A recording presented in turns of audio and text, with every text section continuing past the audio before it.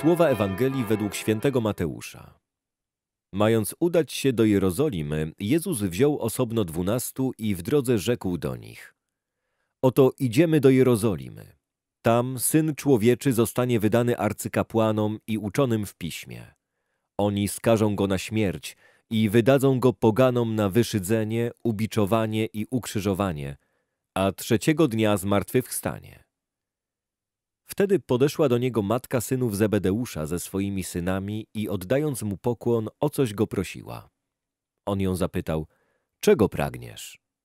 Rzekła mu, powiedz, żeby ci dwaj moi synowie zasiedli w twoim królestwie jeden po prawej, a drugi po lewej twej stronie. Odpowiadając, Jezus rzekł, nie wiecie, o co prosicie.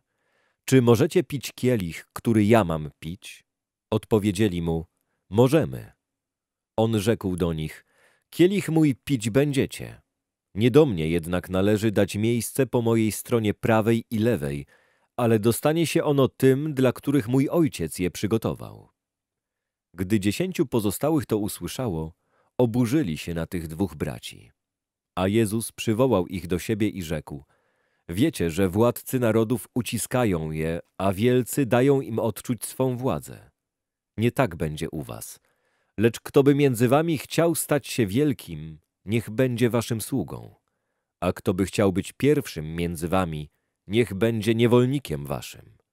Na wzór Syna Człowieczego, który nie przyszedł, aby mu służono, lecz aby służyć i dać swoje życie na okup za wielu.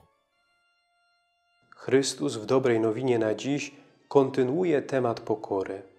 Ludzką rzeczą jest pragnąć, odegrać jakąś ważną rolę w życiu społecznym i jak najlepiej zapisać się na kartach historii.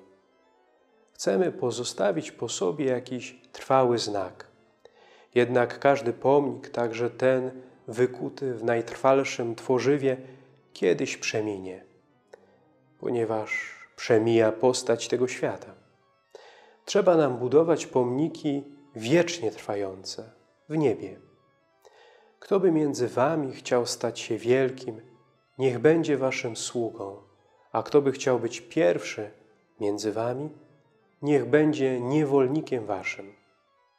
Chrześcijańska perspektywa zakłada naśladowanie Chrystusa, który przecież nie przyszedł, aby Mu służono, lecz aby służyć i dać swoje życie jako okup za wielu.